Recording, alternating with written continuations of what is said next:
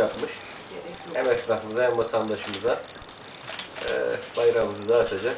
Ben bu yaptıkları çalışmadan dolayı da kendilerini tebrik ediyorum.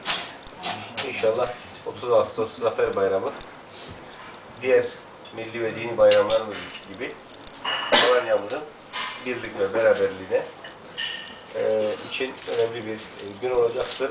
Onu da coşkuyla kutlayacağız. Ben başta Alkol olmak üzere e, bu oluşuma destek veren belediyeyi, kent konseyini, esnaf odalarımızı diğer, diğer sivil toplum e, kuruluşlarımıza tebrik ediyorum. E, Alanya bir ve beraber olduğunu zaten biliyoruz. Bunu da bir kez daha göstereceğiz. Ben de 30 Ağustos Zafer Bayramı şimdiden kutlu olsun diyorum.